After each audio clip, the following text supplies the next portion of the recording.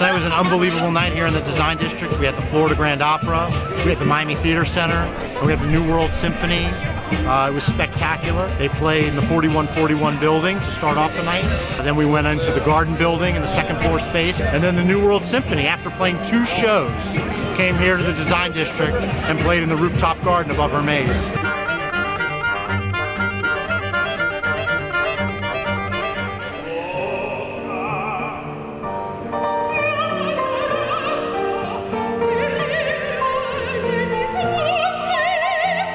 Well, kudos to Social Miami, to DACRA, and to the Florida Grand Opera, and especially Javanka for coming out and getting the opera out of the Symphony Hall and into the streets. That's what really this is about. You can see by the crowd response how people feel about it.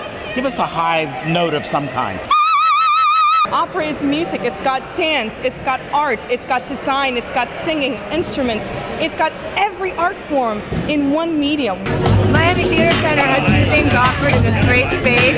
Something that's more straightforward, a very challenging scene in terms of material, but straightforward in terms of presentation of the genre.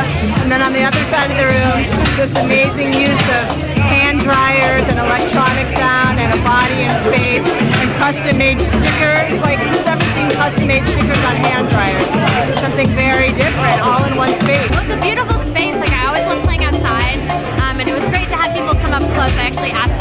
little closer after the first piece so we could really play to the crowd.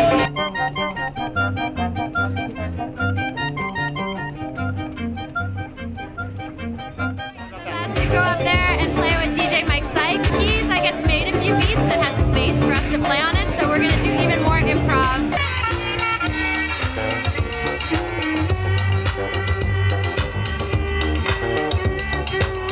It's amazing.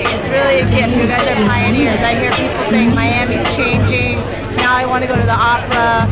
This is so cool. What is this? I want to hear this. People are saying they want more. So it's giving them a taste and hopefully they'll make the effort to go get more.